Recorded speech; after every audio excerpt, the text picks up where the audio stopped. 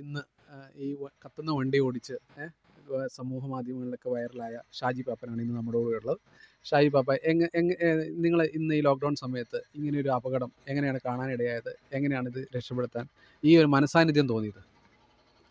ഞാൻ വീട്ടിലേക്ക് ഇത്തിരി പച്ചക്കറി വാങ്ങാനും എന്റെ സുഹൃത്തിന്റെ കടയുണ്ട് തൊട്ടടുത്ത് മുകളിൽ ഇവിടെ ഗരം ഡാസിന്റെ തൊട്ട് മുകളിൽ അപ്പോൾ അങ്ങോട്ട് വാങ്ങി സാധനം വാങ്ങാൻ വേണ്ടി പോയതാണ് അപ്പോൾ അങ്ങനെ പോണ ഇത് കാണുന്നത്. കണ്ട് പെട്ടെന്ന് ഇത് സ്പോട്ടിൽ ലൈനിൽ തട്ടിയിട്ടാണ് ഇത് സ്പാർക്കായി തീ ഉണ്ടായത്. എന്നെനിക്ക് വ്യക്തമായിട്ട് എനിക്ക് തോന്നുന്നത് അത് തന്നെയാണ്. കാരണം അല്ല അതിന്റെ ചോടി തന്നെയായിരുന്നു വണ്ടി. കണ്ട സ്പോട്ടിൽ ഡ്രൈവറും ഇവരറിഞ്ഞു അറിഞ്ഞു. അറിഞ്ഞിട്ടാണ് തോന്നുന്നത് ഇവർ കെടുത്താൻ ശ്രമിച്ചുകൊണ്ടിരിക്കുക വണ്ടി റോഡിൽ നടക്കുക അപ്പോൾ ഞാൻ പെട്ടെന്ന് കണ്ട് ഞാൻ ഉടനെ തന്നെ ഞാൻ വിളിച്ചത് എന്റെ സുഹൃത്തുക്കളെ വിളിച്ചു പറഞ്ഞു. കുറച്ച് സുഹൃത്തുക്കളുണ്ട് എനിക്കിവിടെ. അവരെ വിളിച്ച് പറഞ്ഞപ്പം അവർ ഞാൻ അവർ വരാൻ നോക്കിയൊന്നുമില്ല. ഞാൻ ഇറങ്ങി ഉടനെ ഓടി ചെന്നു. ആ വണ്ടി കിടക്കുന്ന സ്പോട്ടിൽ നിന്ന് തൊട്ടടുത്തൊരു മുസ്ലിം ചർച്ചുണ്ട്. ആ ചർച്ച് എന്റെ അടുത്ത് അവർ പൈപ്പ് അങ്ങോട്ട് അവിടം വരെ നീട്ടിയിട്ട് കൊടുത്തു. പക്ഷേ റോഡ് വരെ റോഡിന്റെ എൻഡ് വരെ എത്തുള്ളൂ. ആ വണ്ടിയിലേക്ക് ഫുള്ളായിട്ട് കിട്ടാൻ ചാൻസ് ഇല്ല. അതിന്റെ അപ്പം അതുകൊണ്ട് എന്തായാലും ആ അവിടം വരെ എത്താൻ ആ വണ്ടി ഞാനൊന്ന് അവിടം വരെ റിവേഴ്സ് എടുത്ത് ആരും ചെയ്ത് കൊടുക്കുന്നത് ഞാൻ വണ്ടി റിവേഴ്സ് എടുത്ത് വെച്ച് കൊടുത്തു. വെച്ച് കൊടുത്തിട്ടും അത് പ്രാക്ടിക്കൽ അല്ലെന്ന് എനിക്ക് തോന്നി. കാരണം അത് ഒരു സൈഡ് മാത്രമേ എത്തിക്കാൻ കഴിയുന്നുള്ളൂ. ബാക്കി പിൻഭാഗം ഭാഗം- അപ്പുറത്തെ ഭാഗം ഒക്കെ കത്തിക്കൊണ്ടിരിക്കുക അപ്പോൾ അതുകൊണ്ട് കട്ട് ചെയ്യാവും. ഒരു അവർ അവർ അവിടെ കുറേ സ്റ്റുഡൻസും ഉള്ളവരൊക്കെ ഉണ്ട്. അവരൊക്കെ നല്ലോണം സഹകരിച്ചിട്ടോ? കാരണം അവർ ബക്കറ്റിൽ ആദ്യം ബക്കറ്റിലെ വെള്ളം കോരിക്കൊണ്ടുവന്നിരുന്നത്. പക്ഷേ അവർ ബക്കറ്റിലൊന്നും വെള്ളം കോരി വെച്ചിട്ടൊന്നും അണയുന്ന കോലം കാണുന്നില്ല. അപ്പോഴത്തേക്കും നല്ലോണം കത്തി. കത്തി തീ മൊത്തത്തിൽ ആളാൻ തുടങ്ങി. അപ്പോൾ എനിക്ക് തോന്നി ഇത് അപ്പോഴത്തേക്കും പോലീസുകാർ വന്നു ഇവിടുന്ന്. കോടഞ്ചേരി ശേഷം പോലീസുകാർ വന്നു. പോലീസുകാർ വന്നു പറഞ്ഞാൽ പോലീസുകാർ വന്നിട്ട് അവർ നോക്കുമ്പം തീ അപകടം ഈ തീ കത്തി നിൽക്കുന്ന കൂട്ടത്തിൽ ഈ ചുറ്റുവട്ടം മുഴുവനും ബൈക്കായിരുന്നു ടൂ വീലർ കൊണ്ട് അവിടെ നിറഞ്ഞു. ആൾക്കാർ ജനങ്ങളെല്ലാം സഹ- സഹകരിക്കാൻ വേണ്ടി വന്നതാണ് പക്ഷേ അത് വലിയൊരു അപകടം ഉണ്ടായേനെ. കാരണം അവിടെ കൂട്ടത്തിൽ ബൈക്കുകൾ തൊട്ടടുത്ത് ഇവിടെ പിന്നെ തൊട്ടടുത്ത് മറ്റേ അതിഥി തൊഴിലാളികൾ താമസിക്കുന്നുണ്ട് അവിടെ. പിന്നെ അതുകൂടാതെ അവിടെ കടകളുണ്ട്. എല്ലാം കൊണ്ടും ഡീസൽ ടാങ്കിനെങ്ങനെ തീ പിടിച്ചിരുന്നെങ്കിൽ പൊട്ടിത്തെറിച്ചാൽ വലിയ അപകടം ഉണ്ടാവും.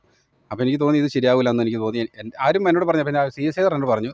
സി അല്ലേ സോറി എസ് ഐ സാർ പറഞ്ഞു.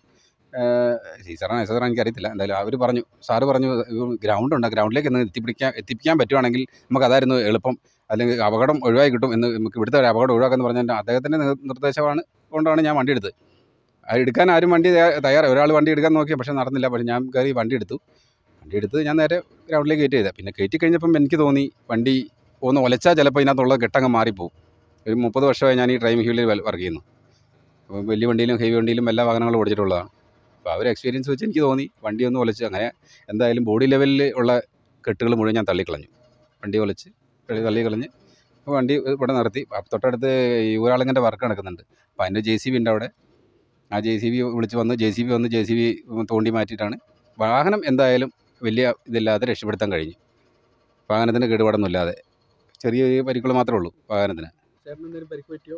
ചെറിയ ചെറിയ തോതിൽ ചെറിയ തോതിൽ പരിക്കുകൾ പറ്റി. അതോടൊപ്പം ഇതിന് സഹകരിച്ച് എന്റെ ഞാൻ വിളിച്ചു എന്റെ കൂട്ടുകാർ അപ്പോൾ അപ്പോഴത്തേക്ക് ആക്റ്റീവ് അവർക്കും ചെറിയ അപകടമുണ്ട്. ചെറിയ പരിക്കുകളൊക്കെ ഉണ്ട്. ഒരാൾ തന്നെ ഒരാളുടെ തലയ്ക്ക് ചെറിയ പരിക്കുണ്ട്. കാരണം ക്യാബിന്റെ മുകളിൽ കൂടെയൊക്കെ തീ ആളി കത്തുന്നത് കണ്ടിരുന്നു. അതുപോലെ ഈ മറ്റേ വൈക്കോൽ വീഴുന്നത് കണ്ടിരുന്നു. എന്തെങ്കിലും പറ്റിയിരുന്നു അതെ ആ സമയത്താണ് എനിക്ക് ശ്വാസം കിട്ടാണ്ടായി പോയി ഇതിനകത്ത് നിന്ന് പെട്ടെന്ന്. ഇത് മൊത്തം കത്തി പ്ലാസ്റ്റിക് അടക്കം കത്തിയിട്ട് വരുന്നത് എനിക്ക് ശ്വാസം കിട്ടാണ്ടായി. എനിക്ക് കണ്ണൊക്കെ പുറത്തേക്ക് ഇല്ലെങ്കിൽ കുറേ നേരം ശ്വാസം കിട്ടാണ്ടായിപ്പോയി. ഞാൻ ഈ ഗ്രൗണ്ടിലേക്ക് കയറ്റുന്ന സമയത്ത് എനിക്ക് ശ്വാസം കിട്ടാത്ത അവസ്ഥയിലായിരുന്നു. എങ്കിലും ആ സമയത്ത് ഞാൻ ശ്വാസം വലിക്കാൻ വേണ്ടിയിട്ട് നല്ല ശ്വാസം വലിക്കാൻ വേണ്ടി തല പുറത്തേക്ക് ഇട്ടതാണ്. ഈ തലയിൽ ഒരു ഒരു വീണു. പക്ഷെ അതൊന്നും ആ സമയത്തൊന്നും എനിക്ക് ഫീൽ ചെയ്തില്ല. വളരെ സാഹസികമായിട്ട് മറ്റേ തീ അണയ്ക്കാൻ കഴിയും ഉം. എന്ന് വെച്ചാൽ ആ സമയ സന്ദർഭത്തിൽ ആ സമയത്ത് എനിക്ക് വേറെ വേറൊന്നും മനസ്സിലില്ലായിരുന്നു. കാരണം ഗ്രൗണ്ടിൽ കയറിയപ്പോൾ ഇത് സേഫായി ഇനിയിപ്പോൾ എന്ത് അപകടം പറ്റി ടാങ്ക് പൊട്ടിത്തെറിച്ചാലും എന്ത് വിചാരിച്ചാലും പുറത്തൊരു അപകടം ആർക്കും ഉണ്ടാവില്ല. ഉണ്ടാവരുതെന്ന് ഞാൻ ആഗ്രഹിച്ചുള്ളൂ. അപ്പോൾ അത്ര തിരിച്ച് അങ്ങനെ തോന്നി അങ്ങനെ ചെയ്തു. ഞാൻ കോടഞ്ചേരിയിൽ കച്ചവടം ചെയ്യുന്ന ആളാണ്. ഈ പുക ഉയർന്നു കണ്ട് ഞാൻ ഓടി വന്നപ്പോൾ റോട്ടിൽ കൂടെ ഒരു തീകോളം വരുന്ന പോലെയാണ് കാണുന്നത് കാരണം ലോറിയുടെ മുകൾ വരെ കത്തുമായിരുന്നു അങ്ങനെ ഞാൻ പെട്ടെന്ന് മൊബൈൽ ഓണാക്കി ക്യാമറയിൽ പിടിച്ചു. പിടിച്ചപ്പോൾ തന്നെ നമ്മുടെ കൂട്ടുകാരനായിരുന്നു വാഹനം ഓടിക്കുന്ന ഷാജിയായിരുന്നു അത് കാണുമ്പോൾ തന്നെ ഈ ഒരു തീകോളം ഇങ്ങനെ റോട്ടിൽ കൂടെ വരുമായിരുന്നു ഗ്രൗണ്ടിലേക്ക് ഇറക്കി ഷാജി. അതൊരു മൂന്നര മൂന്ന് നാല് പ്രാവശ്യം റൗണ്ട് റൗ- വണ്ടി ഓടിക്കുകയും വണ്ടി വണ്ടി ഓടിച്ചതിന്റെ ഫലമായിട്ടാണ് അതിന്റെ മുകളിൽ നിന്നും കച്ചിയെ തീ പിടിച്ചിരിക്കുകയായിരുന്നു. ആ കച്ചിക്കെട്ടുകൾ താഴെ വീഴുകയും ചെയ്തു. അതുകൊണ്ടാണ് ഷാജിയുടെ ആ മനോധൈര്യം കൊണ്ടാണ് ആ വൻ ദുരന്തം ഒഴിവാകാൻ കാരണം മെയിൻ ഷാജിയുടെ ഷാജിക്കാണ് ഫുൾ ക്രെഡിറ്റും കൊടുക്കേണ്ടത്. എല്ലായിരുന്നെങ്കിൽ വലിയൊരു ദുരന്തമായിരുന്നു.